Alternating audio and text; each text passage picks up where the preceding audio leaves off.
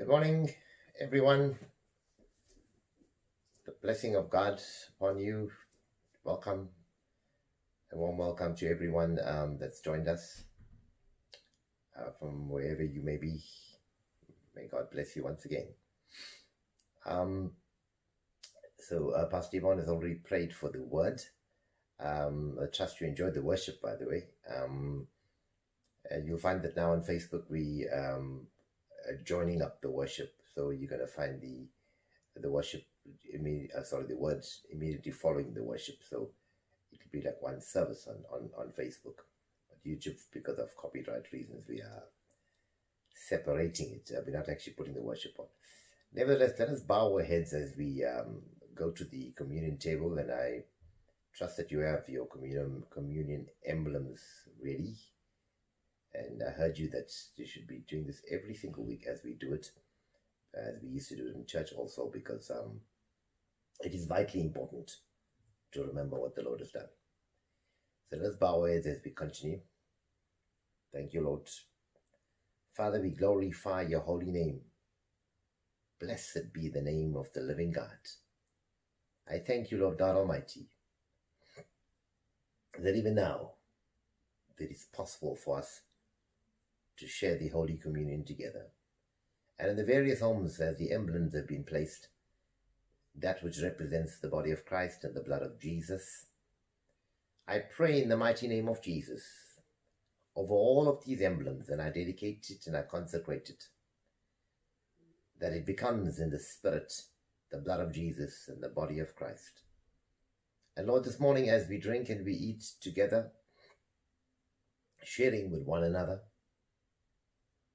we do this in remembrance of you, Lord Jesus, for what you've done for us. We remember you. We remember you, Lord, for your great sacrifice. We take this not lightly, for as we drink and we eat, we truly remember you, Father. We remember you, Lord. We remember as you went to the cross on Calvary and willingly lay down your life as a final sacrifice for our sins, giving us access. We thank you, Lord. We thank you, Father. We thank you, Holy Spirit. Thank you, Jesus. We remember you, Lord Jesus, for what you've done. As we drink and we eat, we remember Jesus. We thank you for the blood and the body of Christ that mighty blood of Jesus and the body of Christ. As it goes through our physical bodies, I speak and declare this morning that by the power of the Holy Spirit, all disease from all of us that partake this morning is eliminated and gotten rid of from our bodies by the power in the blood of Jesus. Thank you, Lord. I thank you, Father. I thank you, Lord Jesus. I thank you, Holy Spirit, for guiding us and leading us. In Jesus' mighty name.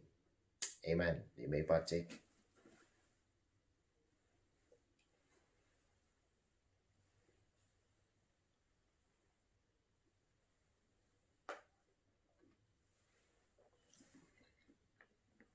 Thank you. Um, good morning uh, to those of just joined us now. Welcome to every one of you. And um, as we go into the word, um, you know, in the time that we live in, everything is changing. And we need to, in a manner of speaking, up our game, step up our faith. For God is able, God is willing, and God loves us. So I'm going to read from John the book of John, chapter 11.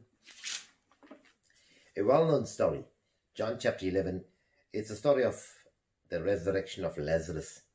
Now, it's pretty long, it's about 44 verses. I'm not going to read the entire thing, but we'll be referring to this verses in between.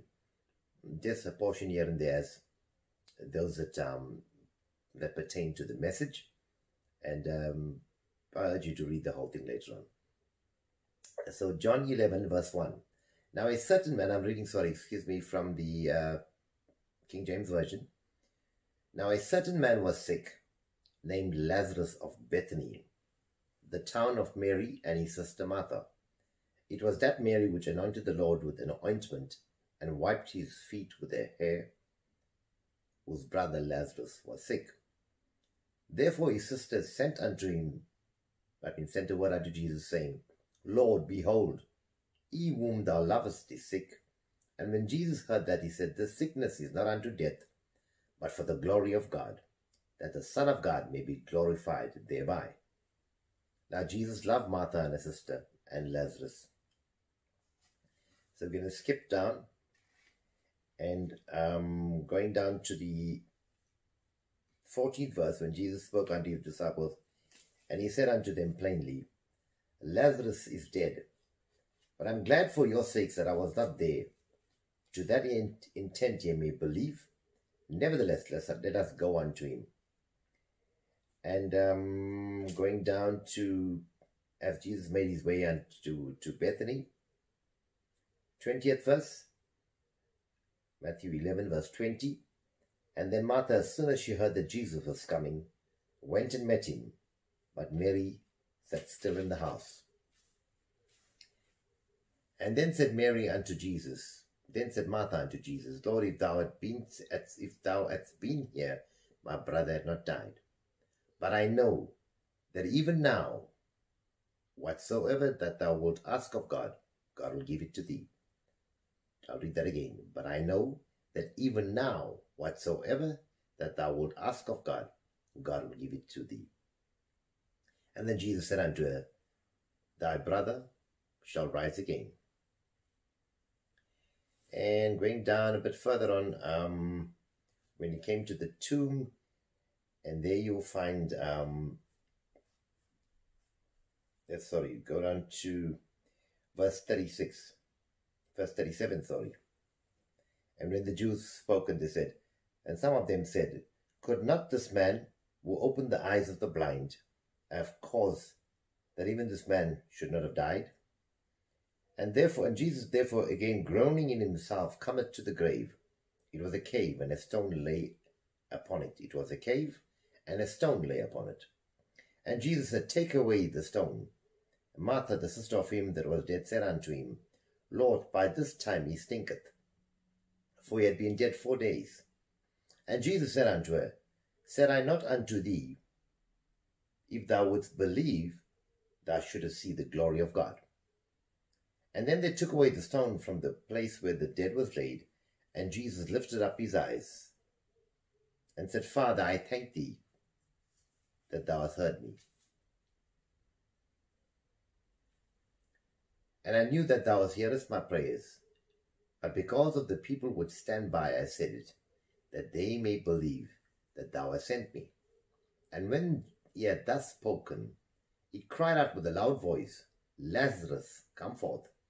And he that was dead came forth, bound hand and foot with grave cloths, and his face was bound with a napkin. And Jesus said unto him, Loose him and let him go. So I'm going to speak to you, as you could see, the title of the um, of the message. Let me just open my. Okay, if you can see the title of the message, which says, "Even now it is possible." Very pertinent for what we're going through as a society, as a world, where people now are becoming so downcast, as I said last week, sadly, even Christians, and thinking that everything is changing. God has not changed, because as it was possible before, it is still possible. Even now, it is possible. What is possible? Absolutely everything. God is the God of the impossible.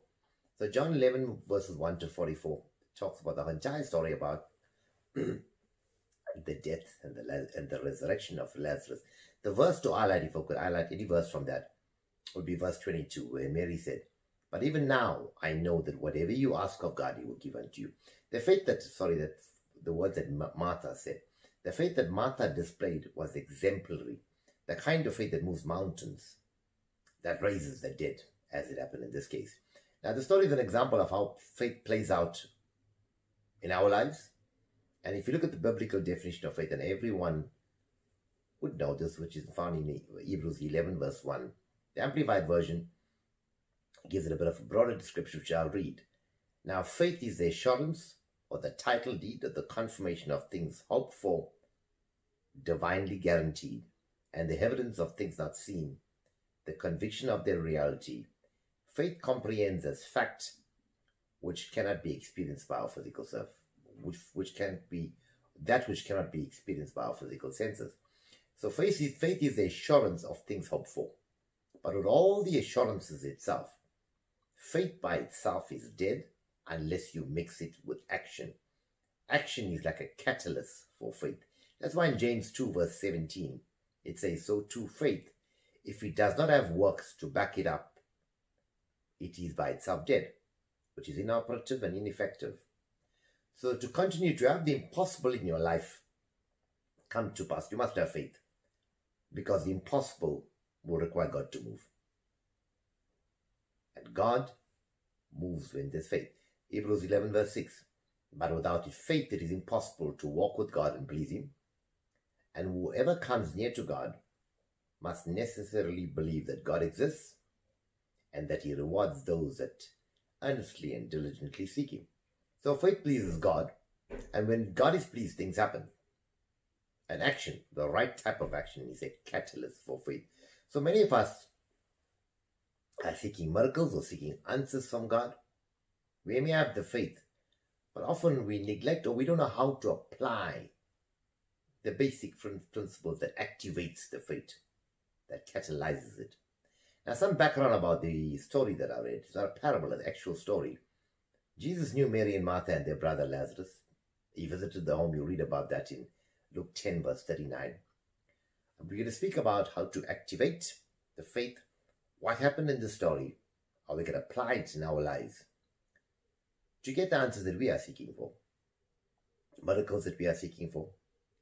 I must say, there's been amazing growth among the people in the ministry that have been associated, that we associated with. Wonderful things. People that could not pray much are praying now and praying more. Preaching, sharing the word, fasting, wonderful things. And all these things are producing amazing breakthroughs. So many of them have had wonderful breakthroughs. So the question would be what are the things we would need to do to activate or to get the kind of miracle, such as raising the dead, for example?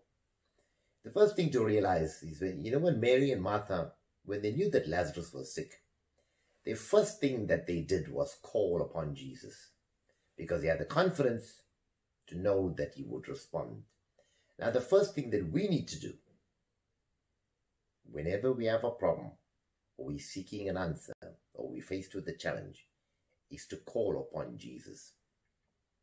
It will normally be evident when you are faced with a sudden situation, a sudden thing where your automatic response, you know, when someone, if something comes near your eye, there's an automatic response to shut, to blink your eyelids.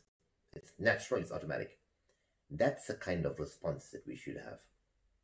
When we're faced with a problem, challenge, we need direction, our instant response, our instant action should be call upon Jesus. As Mary and Martha called upon Jesus, we need to know and understand that we should call upon Jesus. The first words of words out of your mouth should be Jesus. And the moment you say Jesus, you are his child. Instantly, he's able to hear you. So the way you would you would only be able to call upon Jesus if you know him, if you have a relationship with him. You walk on the street, you're driving on the street, and you see people walking by. If you open the window and you want to call them, you don't even know the name because they're strangers. Jesus should never be a stranger. He's your God, He's your Lord, He's your Savior. We need to have a personal relationship with Him. And when you have a personal relationship with Him, by instinct, you will learn to call upon Him. And calling upon Jesus is prayer. Calling upon Jesus is prayer. Prayer is vital. We say this all the time, and we all know this. Prayer or speaking to God or having a conversation with God is important, it is vital. calling to God no matter what. Your instinct to call upon your Lord in times of trouble, in times of challenges, in times when you're seeking direction, calling upon God. If you look at the story about, I'm not going to refer to that. I'm not going to go to the but blind Bartimaeus in Mark, found in Mark 10 46. When blind Bartimaeus called upon Jesus, there were those that even tried to stop him from calling. They told him, keep quiet. Likewise, sometimes our very own might stop you from calling on Jesus. But your job, your function, your instinct should be call upon Jesus no matter what you are faced with. And calling upon Jesus is your first step, your first step in trying to achieve, achieve a miracle. Your first step in activating your faith, your faith is call upon Jesus. Sometimes, you know, like blind Bartimaeus, you are stopped. They stopped him from calling upon Jesus. Sometimes in church, we might foolish, might feel foolish going for prayer. Fair enough. Sometimes, you know what, prayer, you could pray as much as you want to. You can come for prayer as much as you want to. But sometimes people feel foolish or afraid to go to the altar for prayer. We don't have that situation anymore for the time being temporarily. God has somehow brought this past, so we go to Him in prayer ourselves personally. So, but we should never feel foolish or that we're asking too much. You are a child to God. So go to God in prayer. Your first step in trying to achieve your miracle is to call upon Jesus, calling upon the Lord, the Lord of the universe. Going on from that point, the reason that Martha and Mary called upon Jesus was because they knew, they knew that he could heal Lazarus. We need to have the faith to know that Jesus is the solution for everything. All that you face, your faith must be rooted in Jesus, no matter what happens. Trusting Him and knowing that He is the solution for all. There is nothing, there is absolutely nothing that you can face that God can't see you through. No sickness, no financial problem, no legal problem, no marital problem, no problem.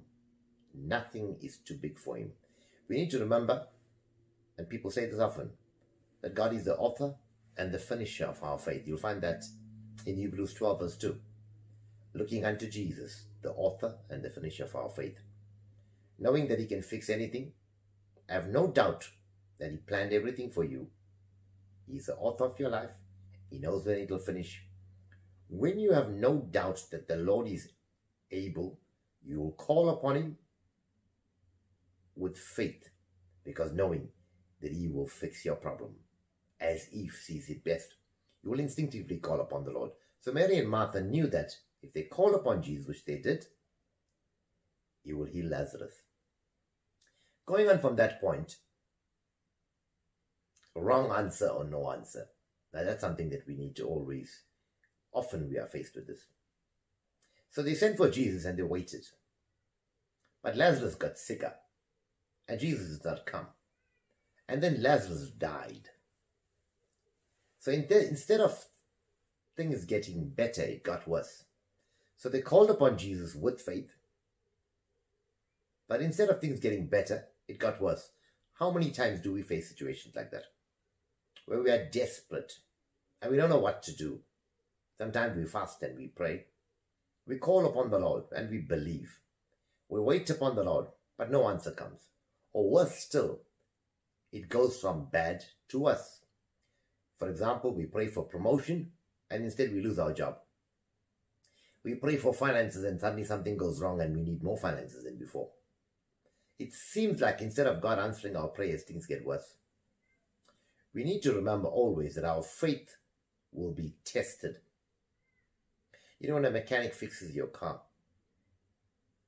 they take it for a test drive to see if it's fine. When you cook a meal,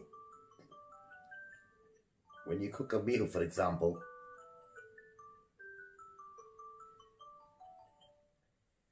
when you cook a meal, sorry man, I've got a little notification coming up, but I'm trying to stop. Okay, anyway, um, when you cook a meal, you will taste it to see the taste or to taste to test its saltiness. Likewise, God tests your faith. Uh, tests your faith, rather. Apologies. God tests your faith. You say you believe. Let's see if you really do.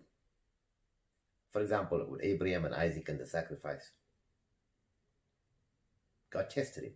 When things seem to be getting worse, our job and our faith shall stand and we should still trust him.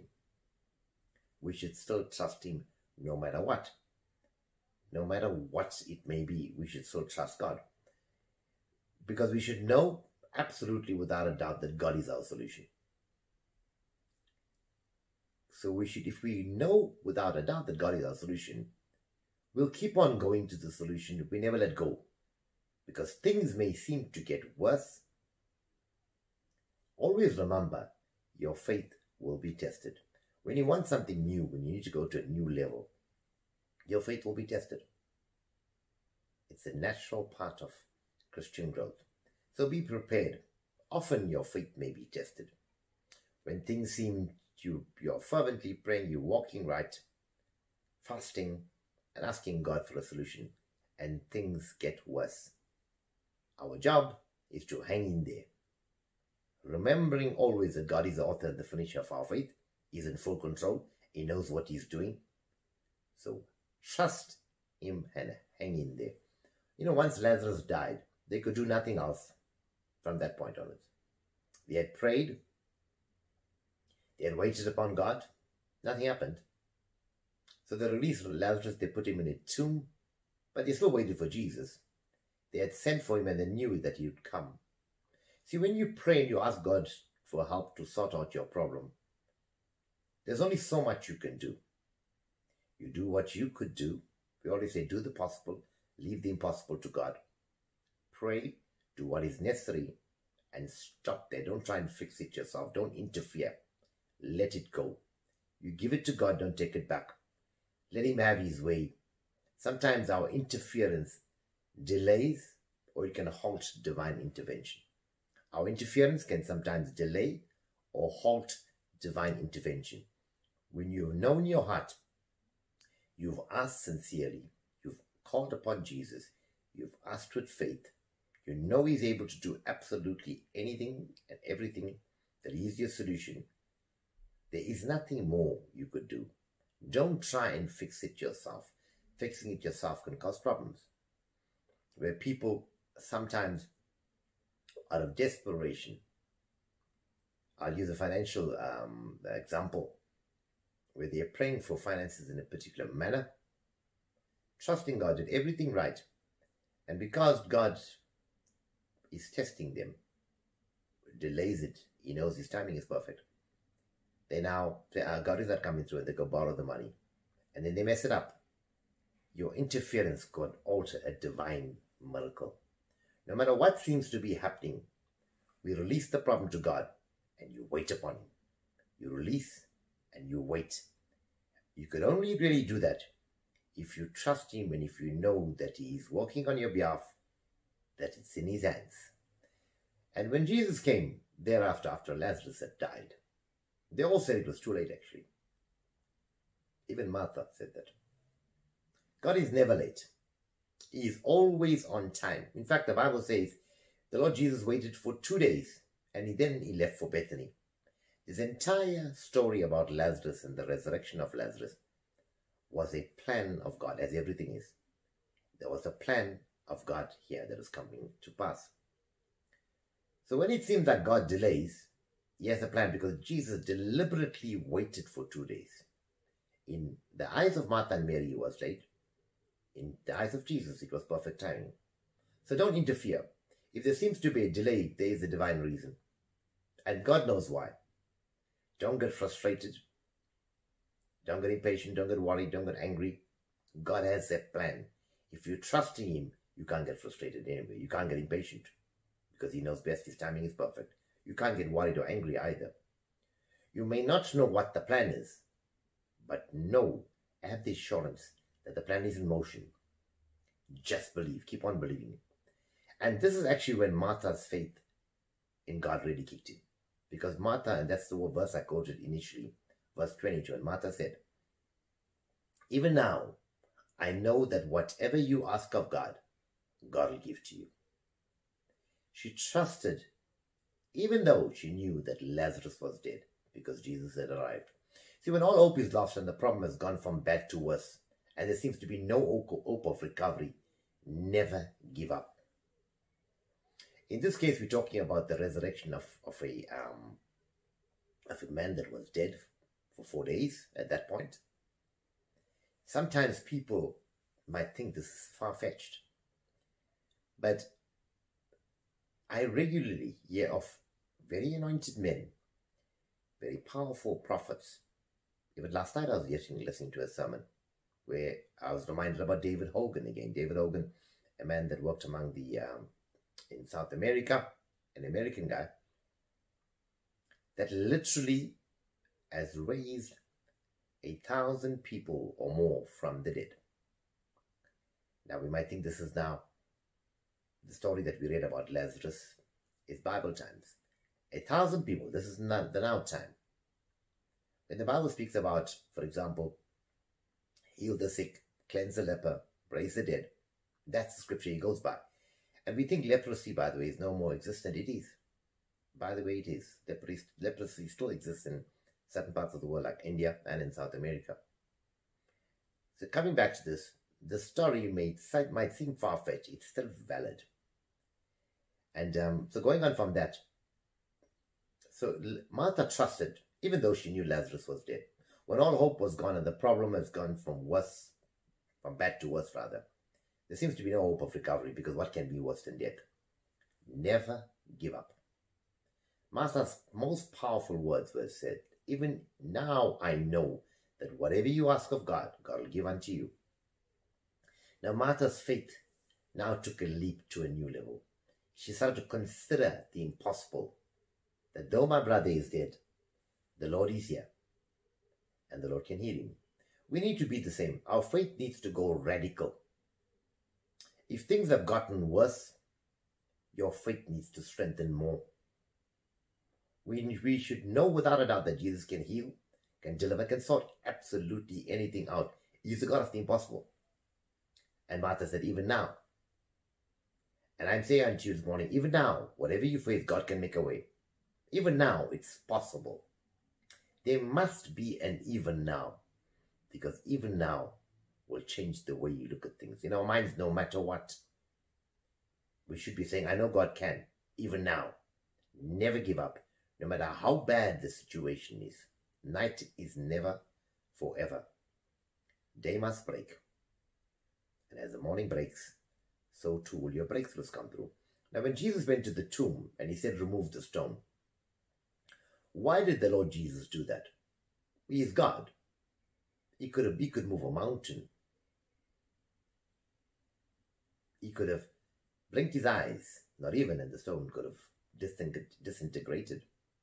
But who put the stone there? It was Mary and Martha and their people. You see, when we release a problem to God, be aware that we don't put a huge stone on it blocking the solution. So now we've prayed, we've called upon Jesus, we've trusted God, we believe He can do anything, we have enough faith. Things seem to be getting worse. Be aware that there may be a stone that's blocking your miracle from coming to pass. I'll talk about that just now. So the stone was blocking the tomb. Remember also, Lazarus could not have walked out of that grave if the stone was not removed. For the miracle to take place, the stone had to be removed. Sometimes the enemy also blocks your blessings by putting a stone or an obstacle in your path, but that's another sermon. Secondly, faith without works is dead. So no matter how much you pray when you believe, you must put action behind your faith, and the stone must be removed the stone must be removed no matter what the stone has to be removed. So no matter what the stone has to be completely removed.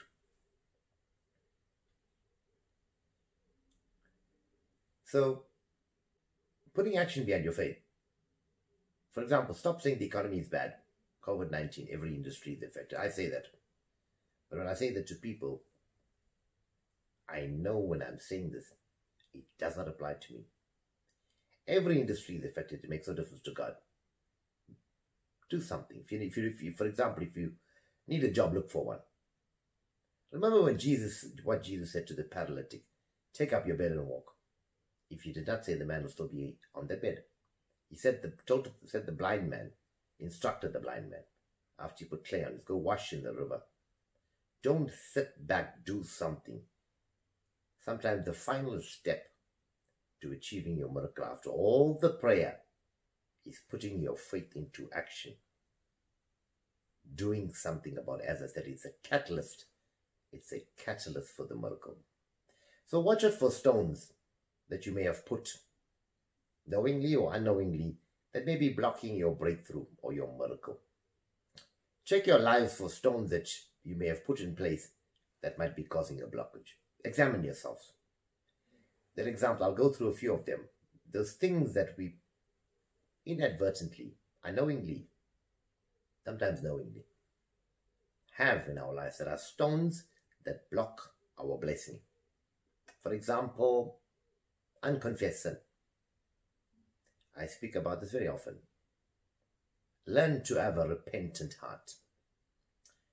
Approach God when you approach Him. Approach with a repentant heart because we're all sinners. We sin every day. You know, that is not dependent on your, your entrance into heaven or your salvation. But when we love God, when we know Him, when we understand Him, we will always have a repentant heart because, as many prophets in the Bible would say, I'm undone when they came into the presence of God, when they realize how sinful they really are in all the things that we do. So when you approach God, approach with a repentant heart. Isaiah 59, verse 2 But your iniquities have separated between you and your God, and your sins have hid his face from you, and he will not hear your prayer. An unconfessed sin can be a stone that can block the answer. Unforgiveness can also can also block your breakthrough. It can be a stone that can halt, stop your miracle. Matthew 5 23 to 24. Where the Lord said, Therefore, if thou bring thy gift to the altar, and thou rememberest that thy brother at that thy brother had aught against thee, leave there thy gift before the altar, and go thy way, and first be reconciled to thy brother, and then come out and offer thy gift. Don't hold grudges. Forgive as often as necessary as you've been forgiven. The Lord Jesus said, when he was asked, How many times should we forgive someone? Seven times? He said, 70 times seven, meaning as often as it's necessary, because that's exactly what God does for us. Forgiveness releases you, actually. So don't hold grudges against people. The Bible says, if you are, stop what you're doing, get make right with your brother, then come back to me. Meaning, God will not answer you. If you who have been forgiven refuse to forgive others, it's something to think about. We need to be able to forgive others. Forgiveness, as I said in the past, does not mean going back and subjecting you, yourself to the person that may have abused you. Forgiveness must be done. Sometimes you may not even meet the person, but you could forgive them. Sometimes I had to repent of, of uh, I had to forgive people that I probably would never see again in my life. But God reminded me of unforgiveness in my heart to someone that had done something bad to me 10 years ago. I have no way of contacting them. I have no way of knowing who they are. It's good enough if you really say, Lord, I forgive them. They may not hear you, but your hearts, excuse me,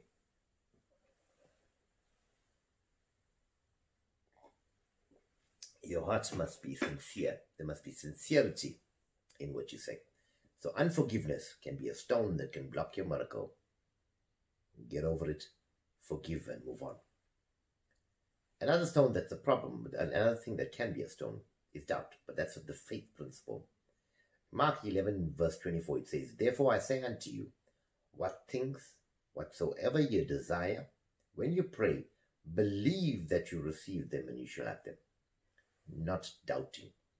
When you pray, the Bible speaks about childlike faith. You know, when we address children, I sometimes joke with Kirasa, uh, and I could tell her almost anything, and she'd believe it.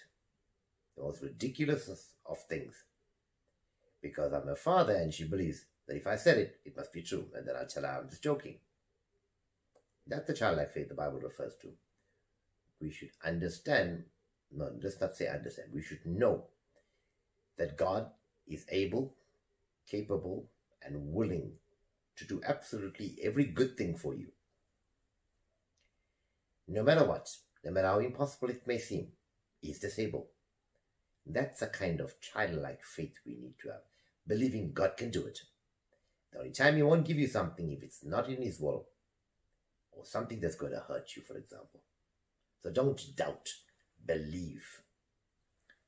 As Martha believed when she saw Jesus, faith went from healing to resurrection.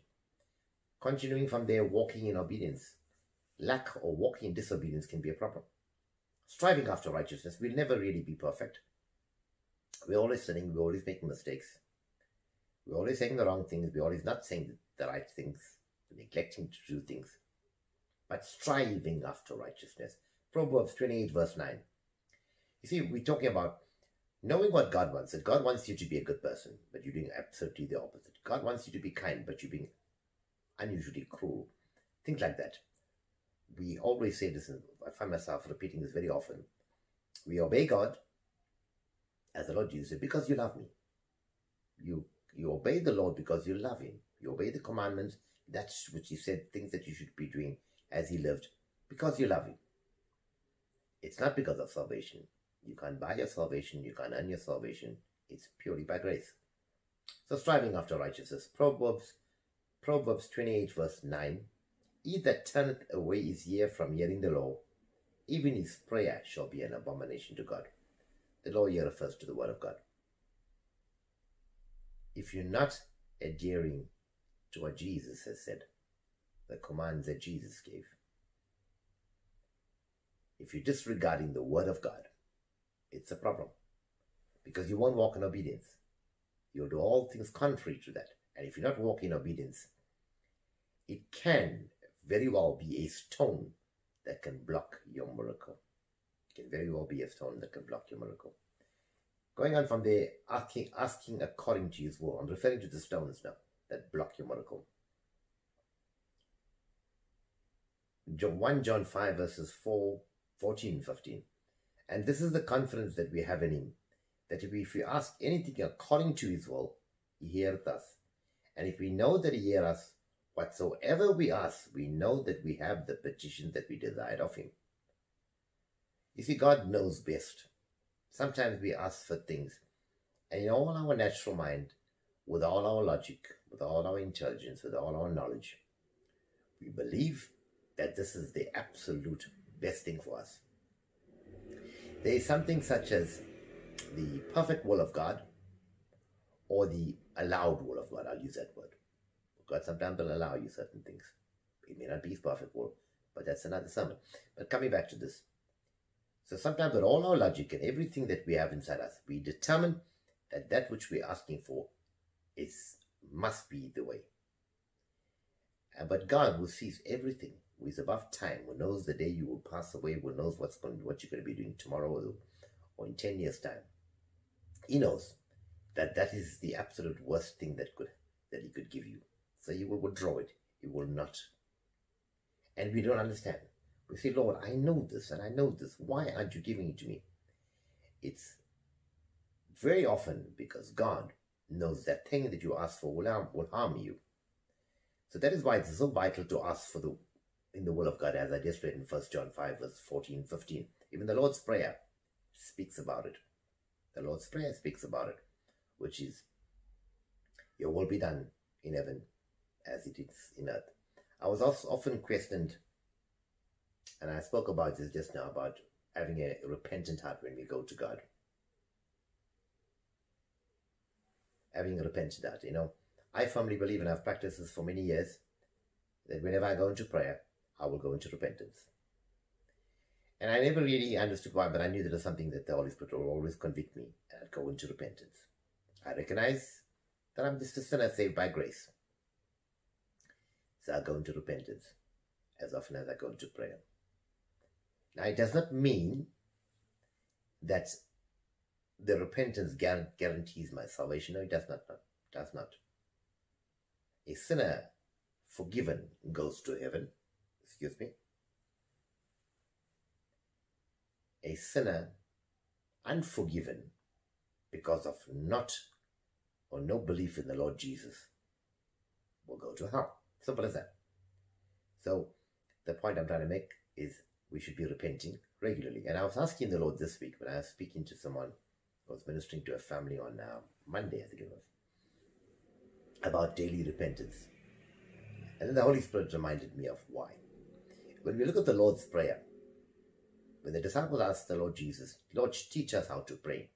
And he taught them the basic, simple Lord's Prayer, which on everything, all prayer is basically built up, which is Our Father who art in heaven, hallowed be thy name. Give us this day our daily bread, and forgive us our sinners as we forgive those that sin against us. Give us this day our daily bread. The point here I'm trying to make is that was a daily prayer. This is how you pray on a daily basis. Give us this day our daily bread. Forgive us, forgive us our sins daily. Asking for forgiveness daily. Forgiving others daily. And the Lord reminded me that as often as we go into Him, go to Him rather, which should be at least once a day, we should go with hearts of repentance. We should go with hearts that have forgiven others. So going on from that, and finally, with regard to stones, humble yourself before the mighty hand of God. Don't ever go to God with an attitude of pride, thinking that you have made it, that you are the most blessed person, even if you are, that everything, you know what, as much as God, as God giveth, he can take it away. Watch out. Guard against pride. Don't ever go to God with an attitude of pride because God hates pride. He resists the proud and he gives grace to the humble. Don't you want grace? As opposed to resistance.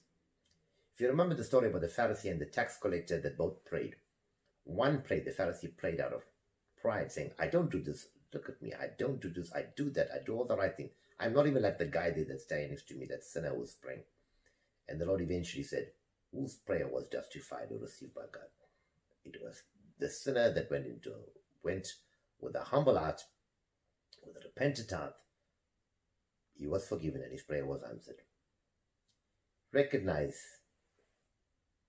that you are dealing with God. Humble yourself under his mighty hand. There's been so many scriptures I've been getting throughout the fast was where where God was saying, where the scripture I read was, Who is man that God is mindful of him? I would say unto God, Lord, who am I that you are so mindful of me, that you love me so much, as He does every one of us? Who am I? We are not even a microscopic, not even a microscopic speck in the universe that God created. Not even a microscopic speck that God is mindful of us. Recognize, recognize that that we are so small in comparison to a mighty God who rules and who created the universe, the Lord God Most High. We are so tiny in front of Him, so small, so insignificant, yet He loves us. He worries about, He hears us. But still, go to God with a humble heart, your final stone. Going to God with pride will never get your prayers answered. Humility. And then from that point, after the stone was removed, Jesus looked up, recognizing that God is answer, God the Father was answer. We need to understand, look up from whence cometh your help, recognize that God is your solution. Looking up would be praying. In my mind, look up. Where do you, where is your help coming from? It's not the bank. It's not the car. It's not whatever. Look up from whence cometh your help? And then the Lord Jesus thanked the Father. He thanked the Father, and then Lazarus was resurrected. resurrected. As we started the prayer program, uh, the fasting and the part of the prayer, which I didn't make a big thing of it this week because the power of confession, which we're going to talk about just now, was starting with the repentance, which is so vital as I spoke about, and having a heart of gratitude, a heart of thanksgiving. There was a whole lot of prayer points. There were selected scriptures from the Bible which speak about thanking God. So having a heart of gratitude, really knowing and thanking God. All our prayer, programs start with repentance and thanksgiving. And then Jesus, after he thanked the Lord, he said, Lazarus, come forth. And the impossible happened. The dead came back to life. Now, we are not Jesus. We are his disciples. In his name, the impossible can take place. The dead can come back to life. No situation is too difficult for him. I should not have said lastly. The last thing was call out your miracle. As Jesus called, Lazarus, come forth. We have the power to say, miracle, come forth. Finances, come forth. Healing, come forth. And so on. Use the power of your tongue to call in your blessings. Use the power of your tongue to call in your blessings. And that's what we did this last week when I spoke about the, this past week rather, with the confessions that I sent. Call those things or calling those things that are not as if they are. You know, I said at the beginning when I started this message, the faith that Martha displayed was exemplary. The kind of faith that moves mountains, that raises the dead. That's true. But we need to remember that Martha's faith may have been great, but it could have been a whole lot better. We need to go higher. Let me explain to you why, why I say that. Have you ever considered why did Jesus not heal Lazarus from where he was? I don't know the exact distance, but Jesus had to walk, I would assume, a day or two, because he waited two days and it took four days to reach there. So I assume it took two days of walking, journey by walking, to go to Lazarus. And then Lazarus was resurrected. Why did Jesus not heal Lazarus from where he was? Because he did in the past, if you remember, the story about the, the uh, centurion and his servant. When the centurion, uh, I'm not sure, I'll, I'll, I'll, send you the scripture reference, but you can look it up. The centurion who approached Jesus. And he said, My servant was sick. He sent a message actually to Jesus. My servant is sick. And he wanted healing. And then he sent a message saying, Don't come. Say the word. And as I'm a commander in the army, if you say the word, you will be healed. And that's exactly what happened. Jesus did not even say the word, thought the thought in his mind, in the mind of God and that servant was healed. That's all the centurion said, speak, and it will happen. And that is a different level of faith. That is a different level of faith. Mary and Martha, however, could have said uh, a sent a word to Jesus saying, Lord, the one that you love, Lazarus is sick. Say the word. Excuse me.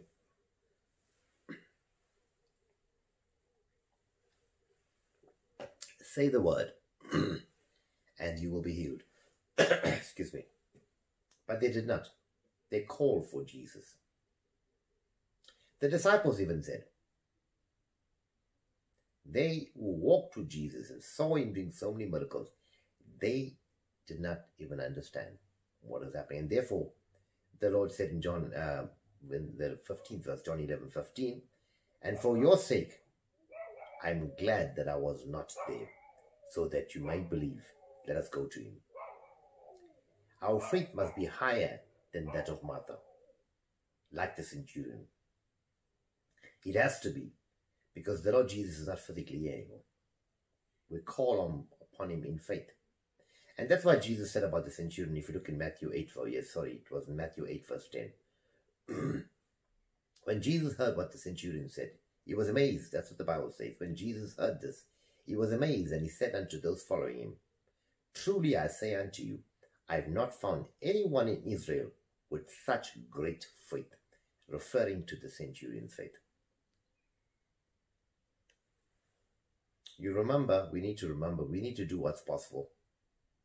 Ask God for the impossible in the name of Jesus. Life can come into any dead situation by the hand of God. There are possibly even greater things than raising the dead, by the way, because the Lord Jesus raised the dead, and he said, Greater things than that you will do. So remember, the, the biblical or the definition of faith, as I said originally, it's the substance of things hoped for, the evidence of things not seen. That's the King James Version. Faith is the essence of our trust in God, and we have never seen God.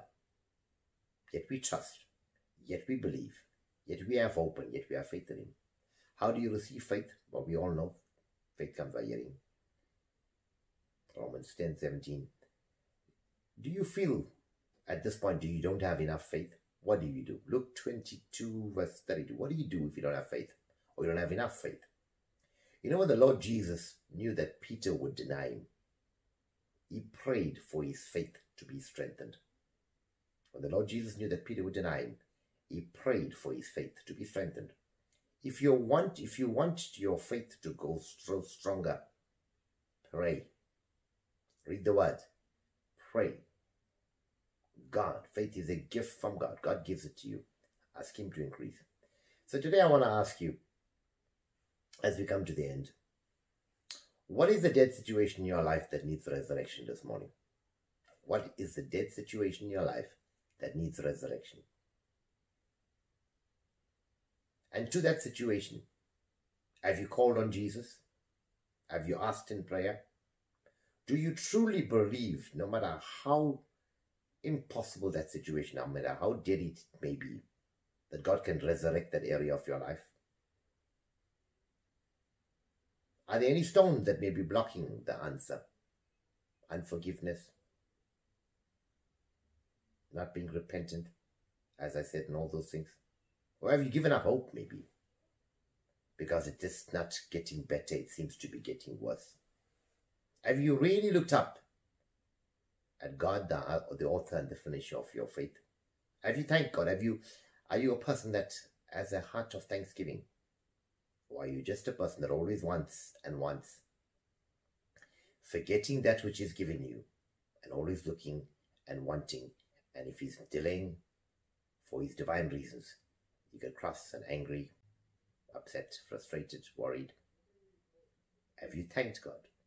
Are you a thankful person? Have you called out your miracle? The power of your tongue in the name of Jesus. There are amazing things that happen have you called out your miracle? The power on your tongue is amazing. You know, when we do deliverance, which we have not done publicly for some time, from the time of the lockdown, I've done it on the phone recently. All we got to do is look at a demon possessed person or manifestation and say them and speak unto it and command it in the name of Jesus to leave, and it will leave by the power of the blood of Jesus, by the power of the Holy Spirit, but in the name of Jesus. So no matter what I do, I have to speak it. I can't look at a demon manifestation, stare them in the eye, not say a word. It will probably stare back at me. Nothing will happen. The power of confession or confessed prayer, confessed warfare, spiritual warfare, cannot be overstated. So confess calling in those things, calling your blessings, calling those things that are not as if they were believing in faith that the God that you serve, the God of the impossible, will come through. Calling this positive confession all the time, calling in that. I started doing that again as part of our fast with regard to our business. And I'm always amazed at this. I would barely say these things, and sometimes I would confess prayer points that I formulated 10 years ago. And there's one I, one I did yesterday of our business. And before the end of the day, I had someone from even Zimbabwe that had sent me messages looking for, for assistance with regard to what I do. And lastly, the final question would be Do you realize that even now it's possible, despite the lockdown, despite it could be World War III, even now it's possible economy could be down, unemployment could be 90%. Even now it's possible. Everyone could be struggling. Even now it's possible. Because the God that you serve is the God of the universe. Even now it's possible.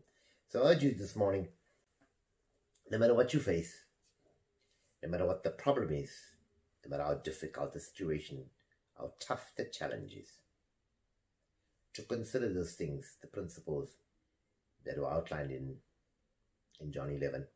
And I urge you to read John 11 1 to 44, the story of the resurrection of Lazarus.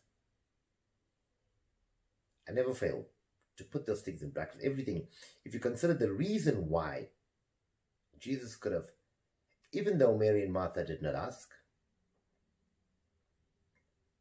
or say the word, Lord, from where you are healing, even though they call for him, Jesus, in his divinity, as God of the universe, could have thought the thought and instantly Lazarus could have been healed. Why did Jesus choose to go through the whole thing? There were many clues, but he did say the Lazarus' death is for the glory of God, so God's glory could be shown through him. It was all a part of what God planned. As I said many two months ago, the way Jesus lived is the way we need to live. The things he did is what we need to do. So often he would do things to teach us this is how you would handle things or handle a situation when you are presented with it. He didn't need to go and heal Lazarus. He could have died from where he was. As a matter of fact, when Jesus was born, he could have, as soon as he became an adult or even younger, he could have went straight to the cross. Why did he live for 33 and a half years, minister for three and a half years, teaching, living life? All the things he did all the things he practiced when he lived is what we need to practice. The evidence of the entire story of the resurrection of Lazarus was to show us how we need to handle this situation. When we face something impossible, when it gets worse, how to do it, what to do. So I'll leave you that, and I trust whatever situation that you may be facing, whatever problem, whatever challenge, that you will apply this. I will send you a breakdown if you want. If anyone wants a breakdown in terms of those things that can affect or stones that can block our answers and things that we need to put into practice to ensure that we are doing or creating the right atmosphere for the miracle that we seek, the breakthrough that we seek to occur. God bless you. So we're going to close our eyes in prayer. And uh, I thank you, Lord. I thank you for holding uh, those. Jeanette, Jeanette is definitely doing a bit better, but could definitely be better. Um, and for holding those in prayer that we've been encountering. And God is above everything, everything. Nothing is above Him. So we thank you for holding them in prayer. And um, I'll give you feedback as the week goes. Okay, let us bow our heads in prayer. Thank you, Lord. Father, we thank you, Lord, for this time, for the platform, the ability to be able to send your word out there touching the lives of your people, touching my life, Lord. I thank you, Lord, even as you've given me the privilege to minister to your children today. That Holy Spirit that you ministered to me as I was ministering. And I thank you, Lord Jesus, that you taught us. You took the time to come down from heaven, not only to go to the cross and lay down your life, but to spend years on earth on earth teaching us how to live, how to handle situations, and how to handle challenges. That we may, by emulating you, learn from you, Father. Learn from you, Lord. Learn that though you are not here, Holy Spirit, your word says, Lord, that you will send the Holy Spirit. And your word says it is better that I go, that the Holy Spirit might come. And I pray, Lord, that the words that were spoken this morning would find the good ground of our hearts as it was sown. Your word says that the word of God is seed. And I speak that that seed of the word of God that was sown this morning, the ground will be good, it will flourish and bear fruit. That we will, Father, not only become hearers of your word, but doers and we will practice those things that you outlined for us in the Word. That when we are faced with any problem, our faith will rise up in each and every person that listened this morning. I speak that their faith would be stirred up and would rise up, no matter whatever challenge they face, whatever problem, whatever wall. Lord God Almighty, precious Heavenly Father, I ask you, Lord, convict our hearts that we would call upon you incessantly, never failing, praying without ceasing, praying with faith, standing the test of faith, examining our lives, coming before you with a humble heart, coming in repentance, coming forgiving everyone that has wronged us, coming with humility, guarding against the spirit of pride. I speak all of this into the, those that hear the message now. In the name of Jesus, whether this message is heard now, in two hours, in two days, in 20 years' time, the same conviction, the same mighty Holy Spirit that resurrected the Lord Jesus, that resurrected Lazarus, is here. And I thank you, Lord. I thank you, Master. I thank you, wonderful Holy Spirit. Seal the word in the heart of your people. Help us that we may hide your word in our hearts, that we may not sin against thee, O Lord. Thank you, Lord, for sustaining us during the fast, for keeping us. And I thank you, Lord, for the avalanche of breakthroughs that will result from those of us that seek your face for you are the God of breakthroughs. You are the God of miracles, the God of the impossible. I thank you, Lord God Almighty. I speak right now the blood of Jesus, and I declare liberally the blood of Jesus covers each and every one of us that listen right now, including myself and our family, and every person out there that's listening and their families and the homes and the children and the marriages and the cars and the businesses and the occupations and the finances. For every member of KFPA, whether they're listening now or not, whether they will listen later, the blood of Jesus, I declare, covers you all. And the bloodline of protection is drawn around each and every one of us and our families and all that we possess. As we stay behind the bloodline, no enemy force will penetrate the bloodline. I command you that you will pass over. You cannot come near the mighty blood of Jesus. Thank you for your protection, Father. Hold us in the hollow of the palm of your hand. Thank you, Lord God Almighty. Bless us in this week. Let the blessing rain from this Lord's Day to the next Lord's Day as we wait with eager anticipation for the breakthroughs and the testimonies that will come forth from the fast, Lord. We thank you for the healing of for your people, Lord God Almighty. And now may, and now may the Lord make his face to shine upon you, and the love of God, the grace of the Lord Jesus Christ, the peace, the intimacy and the fellowship of the Holy Spirit be with each and every one of us until we meet again in person or telephonically. In Jesus' mighty name. Amen. God bless you.